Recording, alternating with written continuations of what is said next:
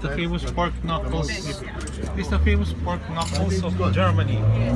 Yeah, it's like our crispy pata in the Philippines. See? Pork knuckles. Hacks. Ayan, hacks. Ay, order kayo ng hacks. See, Hax Bauer. No, but I know it's Jack Bauer. Ja, zeg maar. Pork knuckles. Yeah. Pork knuckles.